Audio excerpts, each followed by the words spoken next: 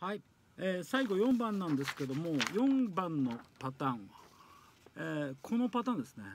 これもねまたねロックではよく使われる、えー古くは U2 というバンドがありまして、まあ、そこの、えーエッジっていうギタリストが編み出した技に近いんですけどね。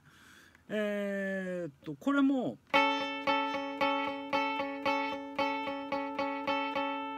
で4小節続いて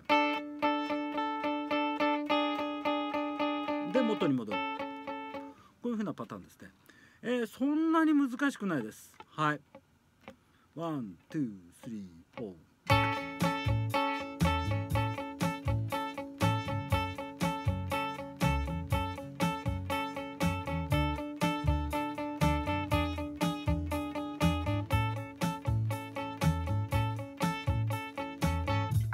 こういう感じですね。2つの音がちょっとまあ確かにまあ幅が広いので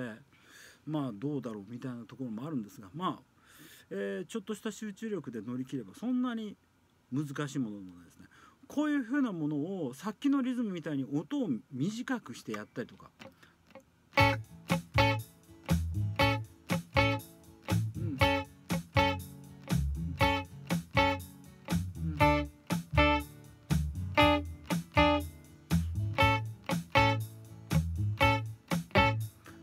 こういうふうにですね、まあ、リズムを変えてやったりするとまた面白い感じになりますし、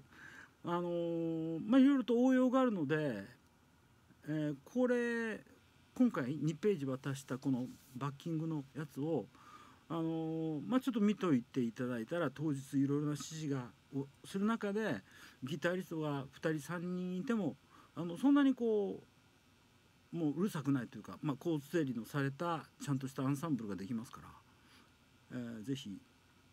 えートライしておいてくださいよろしくお願いします。